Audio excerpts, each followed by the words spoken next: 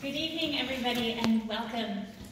My name is Rebecca Walsap, and I work at Inter Pares. We are a social justice Canadian organization based here in Ottawa, and I work on our Burma program. Um, I'd like to, to begin by acknowledging that the land on which we are gathered is the traditional unceded territory of the Algonquin Anishinaabe people. I think we've all heard those words or similar acknowledgements before. Perhaps so often that we don't even really hear the words. Maybe we don't feel the meaning in our hearts anymore.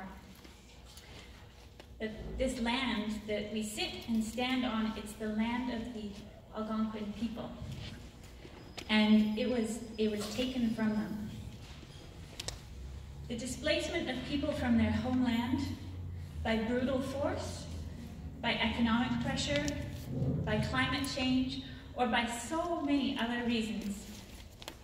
It's an international issue. And we work with people in Latin America, in Africa, in Asia, and here at home who have had their roots severed. It's an experience that impacts your sense of ancestry and home and your core identity. And it's an experience that Rohingya are very familiar with. Noticing these common threads can feel overwhelming, but it can also embolden us. We hope that this evening will help you see commonalities and make connections. Our relationships with our community, with strangers, and with the land are fundamental to us surviving and thriving. So in a moment, I'm going to introduce you to Yusuf Zine. He's the director of this film. We're then going to watch the film. It's about 90 minutes long. I will then invite Yusuf and a large number of the cast um, and crew who are here with us tonight up on the stage. Exactly. um, and we'll have a Q&A with them, as well as also um, we'll be joined by my colleague Samantha. Um, and then we will wrap up this evening by 9.30.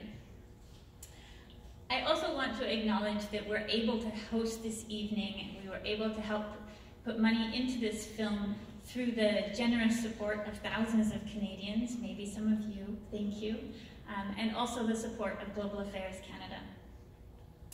And in case you don't know, tonight is actually the premiere of the film, so you are the very first audience.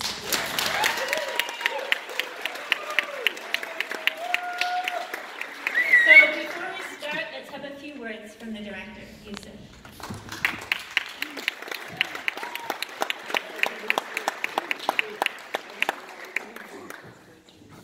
Thank you so much, Rebecca. Um, wow, here we are. Um, my name is Yusuf Zine. I'm the director of uh, I'm Rohingya, A Genocide in Four Acts. Uh, I just want to start off by thanking all of you uh, for coming out. Um, this is a film that we've been working on for the past three years of our lives. And uh, myself, my co-producers Kevin Young and Jamal Aziz uh, have poured our hearts and soul uh, into this film. And so we're so excited um, to bring it to you today. And I'm really excited to uh, be here, not just with all of you, but also with, uh, like Rebecca said, a large number of the cast of I Am Rohingya and their parents, the, the Rohingya community here. Um, so thank you guys for coming out. Um, I, I just have to emphasize, uh, and I've been singing their praise uh, since, since the beginning, and I'll continue to. Um, our production company, Interspeak, and our producers and I uh, are fairly new filmmakers, and uh, you know we, we put a lot of hard work into this, and I think we can speak. I can speak for all of us in saying that it was a very difficult uh, journey to make this film. It, it was very much an uphill battle.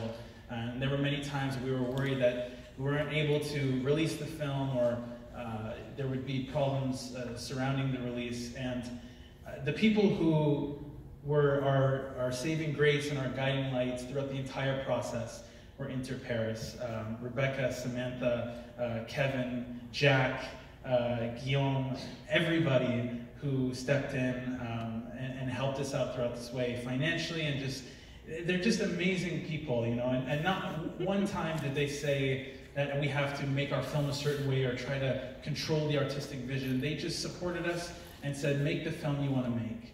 And, and that's what we did. And, and so this is very much a tribute to them. So I just wanted to take a moment to say thank you. Thank you a million times. And we really appreciate your constant support.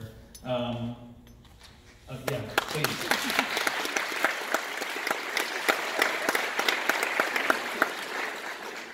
This is a film that's very important to us. Like I said, we've been working on it for three years. Um, a little bit of context, uh, it's based on a theatrical production um, called I Am Rohingya, where uh, the youth who are with you tonight uh, bravely and boldly reenacted uh, their own experiences, their parents' experiences, again, the parents who are here tonight, in a live theater production.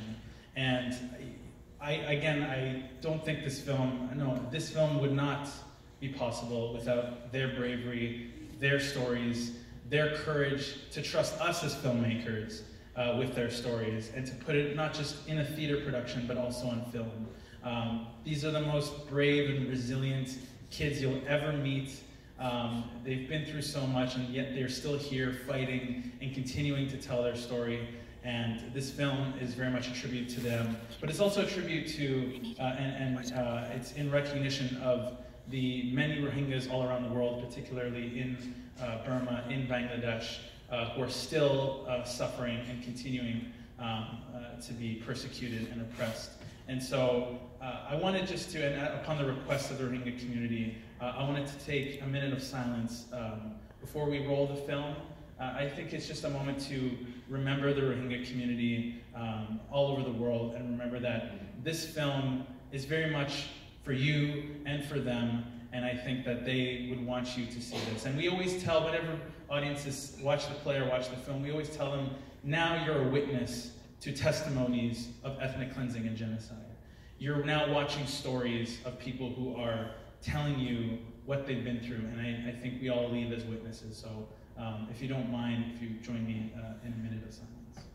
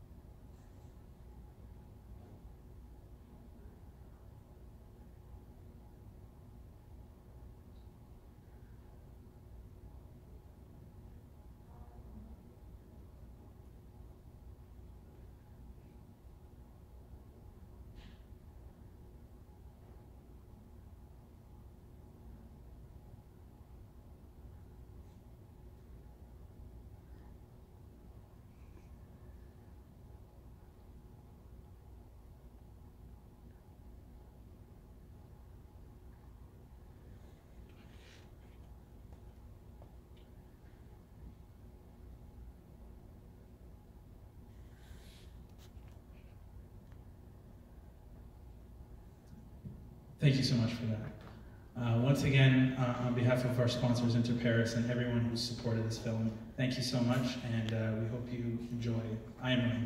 Thank you.